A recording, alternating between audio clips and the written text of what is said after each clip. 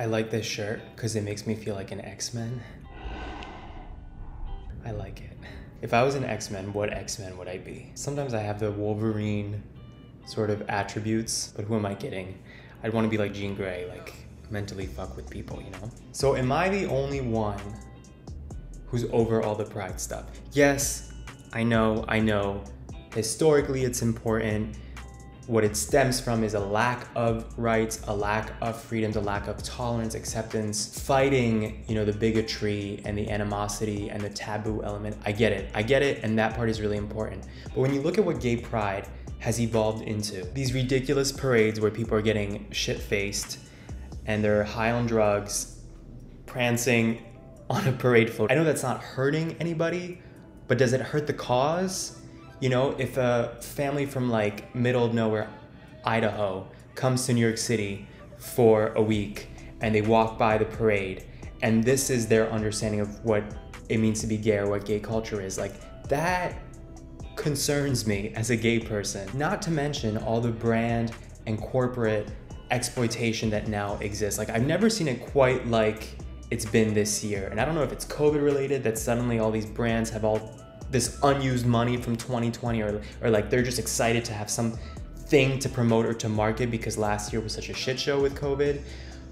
But this year, this June has felt very overwhelming to me with how much the quote unquote gay agenda is being pushed. And I'm saying this as a gay person, it just feels very icky to me, like how much it's been milked for corporate purposes or marketing purposes. I don't care that you have a rainbow outfit this month, limited edition, or a rainbow cake this month for Pride, or I don't know, uh, you know, 50% off all month for, for Pride celebration. I just want you to treat gay people like human beings. I don't give a shit about your promotion this month. I mean, on the one hand, obviously it's beautiful that like growing up as a gay person and all the like chagrin that came with that and all the isolation and the paranoia for it now to be so out in the open at least in the states it's a beautiful thing that like the tide has turned and now it's not so taboo right but at the same time i still feel like it paints this picture that makes us all look one dimensional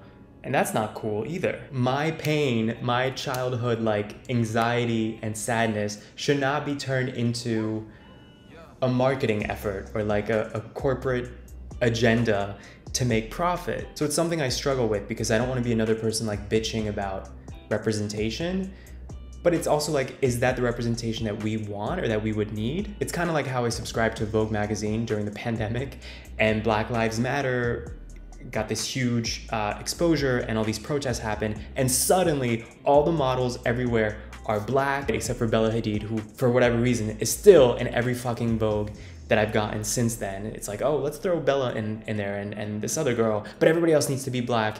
And it feels like a gimmick. That's the thing, it's about intention. Like it doesn't feel genuine. It feels very disingenuous and it feels gimmicky to the point where I was like, I don't even want to be subscribed anymore. Like it just feels like they're forcing it because they feel guilty, because it's a guilt trip, or because they just feel like, oh, this is the thing we need to do right now. Like just for now, let's just have a lot of black people in there. And then once this dies down, we'll go back to the regularly scheduled program. And I feel like it's the same thing with the gay pride stuff. It's like you fucked up all our childhoods and now you're like shoving this down our throat like, we accept you. Okay with you. I am not buying it. But again, I don't want to complain too much because I'm thinking about like the gay employees at these companies that are like, oh wow, like somebody is at least pretending to care that I exist or that I'm a part of the culture of, of humans. Or more importantly, I guess like the little kids growing up who know that they're gay like I did and see this on see these ads on TV or billboards and they're like, okay, like things are gonna be okay. Like it's okay to be me. It's not as taboo as I thought it would be or whatever. Anyway, I'm just sounding off. I'm gonna go for a run in my X-Men outfit.